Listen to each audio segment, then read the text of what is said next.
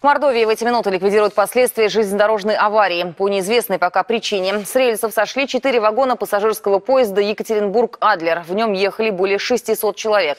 Жертв нет, травмы получили пятеро. Госпитализация потребовалась только одному. По данным МВД Свердловской области, у пострадавшей подозрение на перелом. И вот, судя по одной из фотографий, сделанных очевидцами, ЧП произошло за мгновение до того, как поезд въехал на мост. Вагоны опрокинулись на насыпь, которая через считанные метры обрывается. Произойди крушение буквально секундами позже, последствия были бы куда серьезнее. Людей с места аварии эвакуировали автобусами на ближайшую станцию. Туда же отбуксировали ту часть составов, которая устояла. Перевернувшиеся вагоны должны поднять при помощи специальных аварийно-спасательных поездов. Сообщается, что сбоев, отмен и задержек в железнодорожном движении из-за аварии на этом участке нет. Используются объездные пути.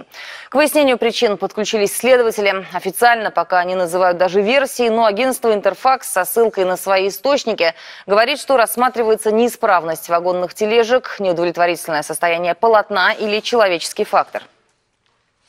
Ну вот буквально несколько минут назад распространила официальный комментарий компании РЖД. В нем сказано, что предварительная причина, цитирую, вмешательство посторонних лиц в работу железнодорожного транспорта. Чуть ранее на уровне утечек в информагентствах появлялись сообщения, что на месте аварии не были закреплены пути. Предполагается, что крепеж просто украли.